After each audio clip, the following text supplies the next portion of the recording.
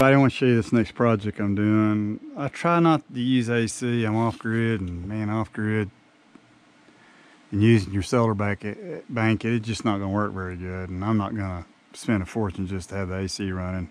I use a generator, but I'm still working on the cabin, still got projects going on. So one of the projects I want to do is another screen door and a screen door will help keep the cabin cool. I got the windows open, got sunshades. You can see the fan. It's running right now.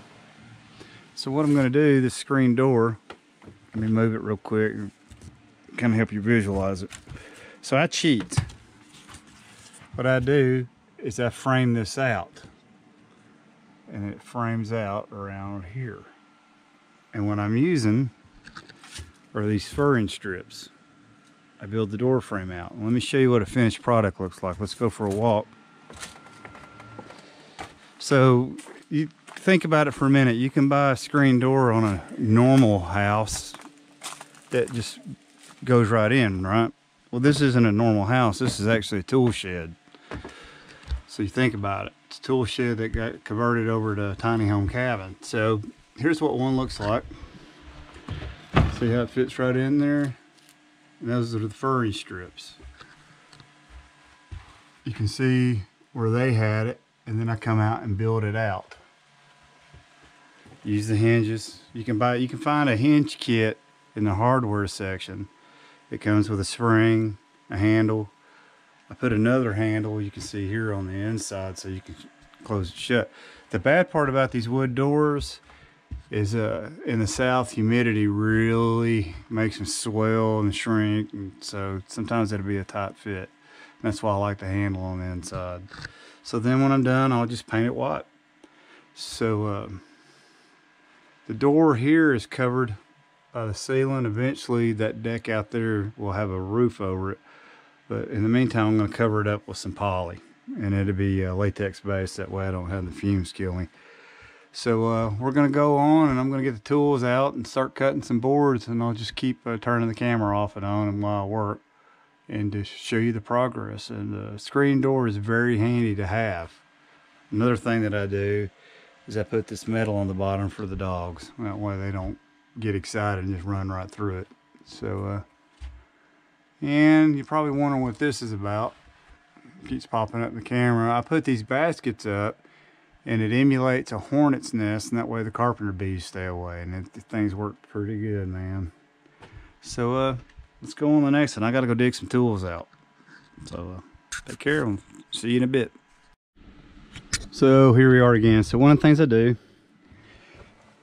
i get two screwdrivers and i stick it under. That way i've got enough swing for the door. And then i'll get a board. Let's do this. And I'll bring it up. And I'll mark it against the door to this trim piece and basically done after that all I gotta do is nail it up start putting it up so uh, that'll be the next step and uh, pretty simple the screwdriver will keep you from screwing yourself so you see the door frame here's a really bad assumption assume that these things are square, right? They're not. I don't know if the camera picked that up. That is not level. And this door is sitting level. And you see that gap? If you try to match everything up, you'd be you'd have a drinking problem.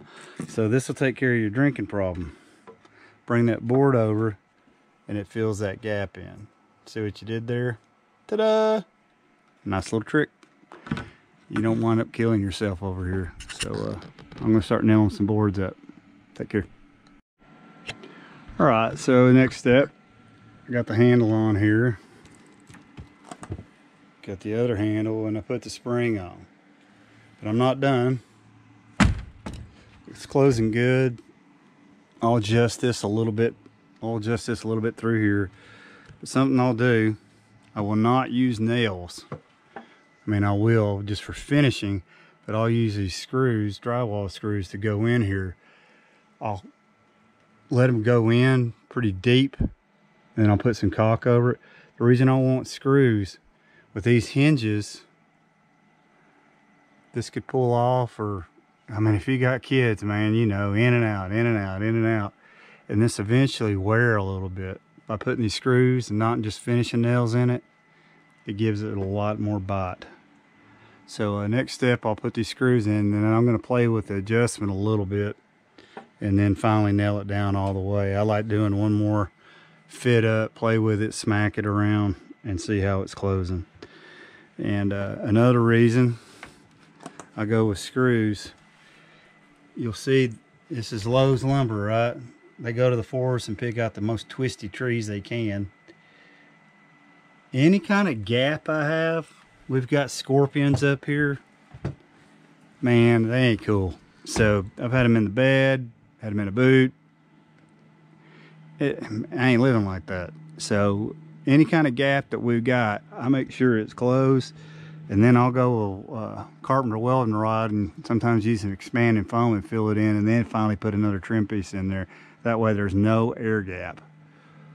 I hate bugs. All right so let's go to the next step.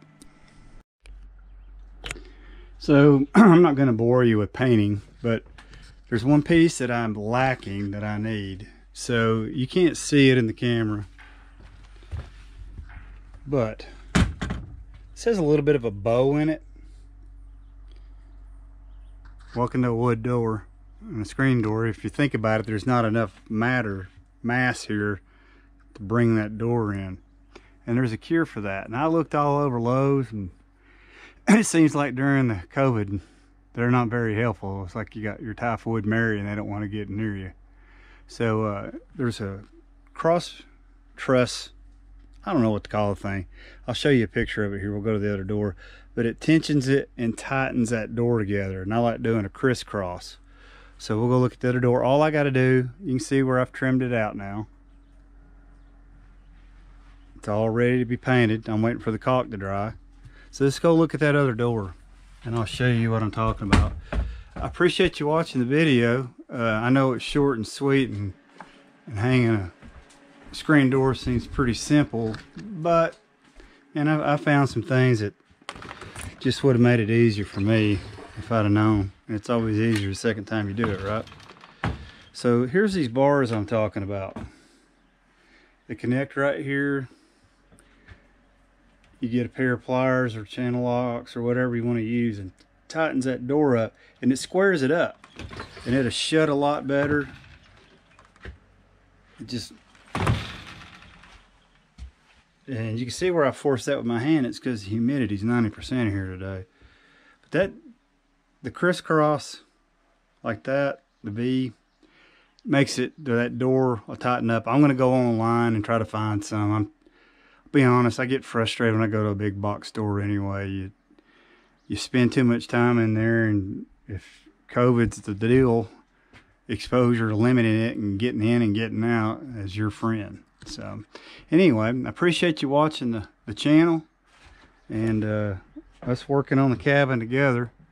You can see how this thing turned out and this is three years old now. So uh, got the other door on. It's going to help keep the cabin cooler and then to keep out the scorpions and everything else and snakes and I can sleep at night a lot cooler. So uh, I appreciate you watching and uh, appreciate you being here.